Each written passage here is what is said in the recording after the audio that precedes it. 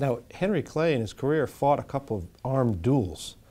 So, what, what was it about his uh, service uh, in forging compromises, in leading uh, the House of Representatives, serving in the Senate, serving in the President's cabinet?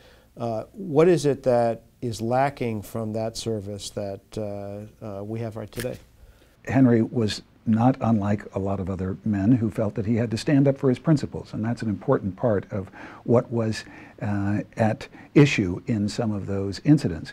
Um, but uh, it's also worth probably pointing out that Henry Clay was, in many respects, not quite the compromiser that we often remember him to be. He is referred to, as you know, as the great compromiser, but he, he didn't, in fact, uh, steer the Compromise of 1820, something that sometimes associated with him, and he didn't actually resolve the issue of 1850 when we got to the Great Compromise of 1850.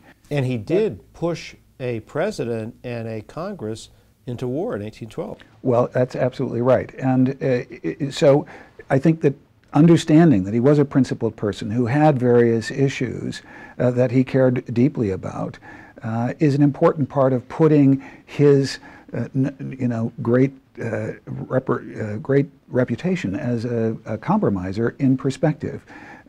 compromise doesn't mean unprincipled, and often it is thought of as tantamount one to the other.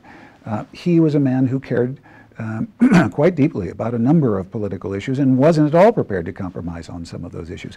This is a point that I think um, is well made by David and Jeanne Heidler in their uh, new uh, biography on him. Instead of referring to him as a compromiser, they refer to him as an essential American. And I think that that's uh, particularly appropriate given that we Americans, of course, have principles that we won't compromise. Uh, but that said, we can't proceed without having the occasional uh, meeting in the middle ground. And uh, you know, when you think of the triumvirate that, that he was part of, that Henry Clay was part of, along with John C. Calhoun and Daniel Webster, uh, he was uh, more inclined to align himself uh, with uh, Northern interests than uh, certainly Calhoun was prepared to do. But he was always looking for ways to bring the two sides together. His principle ultimately was preservation of the Union. And I think it's for that reason that he was so important to Abraham Lincoln. Abraham Lincoln always referred to him as the ultimate paradigm of successful political engagement.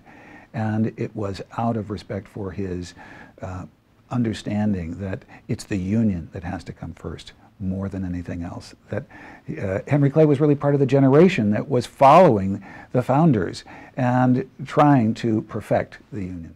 Uh, what have you found over the years in terms of the, the resonance of Henry Clay and his career uh, to people serving in the House, Senate administrations today? Well, I think that one of the reasons that we were able to get the speakers uh, to come and join us today, and of course the Henry Clay Memorial Foundation and the Henry Clay Center for Statesmanship were critical in making all of that happen, but one of the ways that, uh, one of the reasons that we believe that those folks have, are joining us on our campus is because they recognize the truly seminal effect that Henry Clay had on the power and role of the, the speakership.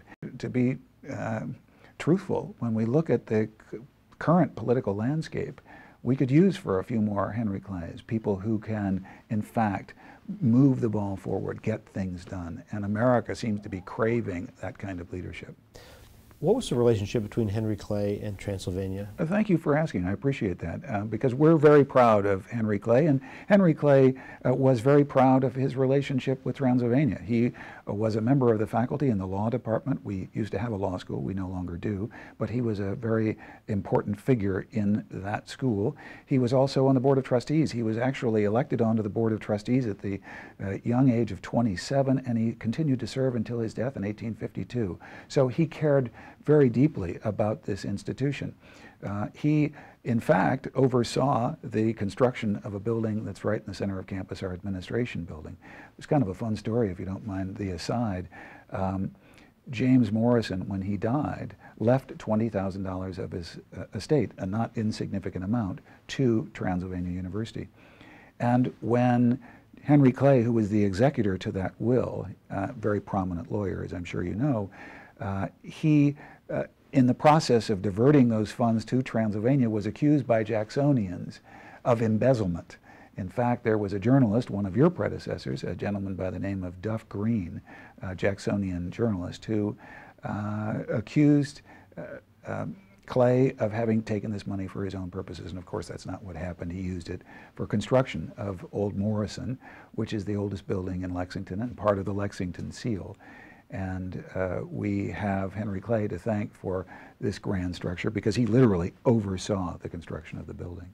And I assume that the uh, legacy of Henry Clay has helped to shape the character of the kinds of students you attract here and the kinds of academic programs you It, it has. I mean, uh, Henry Clay was a very intelligent uh, and educated person who is very similar to the kinds of students that we welcome onto our campus. In fact, just earlier today, we welcomed our new uh, incoming first year class. There is one other uh, story I'd like to tell you, if you don't mind, about uh, Henry Clay on this campus. Um, he was a very successful lawyer, and in his uh, various cases as a criminal lawyer, he never lost a case.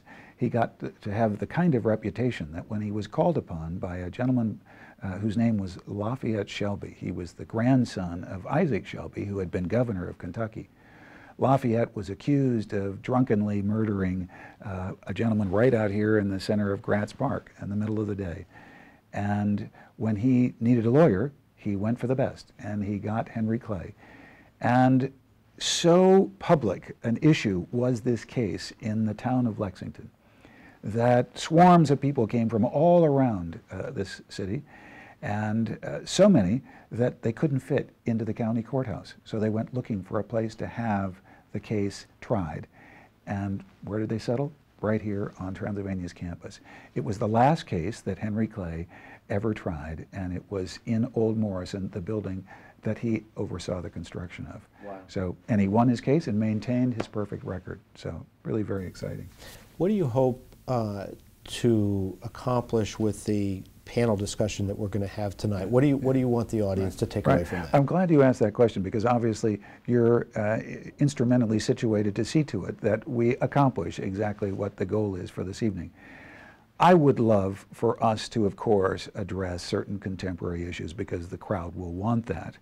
But I would love even more for us to talk about the evolution of politics in this country and how they, as very prominent members of the political community in this country, understand how we have been diverted from the path that was laid by Henry Clay and his various contemporaries, where they, they looked for compromise. And it was compromise, of course, that held this nation together for its first many generations. What happened? Why are we no longer seemingly uh, capable of reaching compromise? Uh, Americans seem very frustrated by the really near bellicose discourse on the floor of Congress. And I think they'd love to see the return of the civility that was routine from Henry Clay. And so having you press them on that issue would be, I think, a great uh, uh, social service, frankly. Good goal for the evening. Dr. Williams, thanks very much. Thank you very much for being here, John. We appreciate it.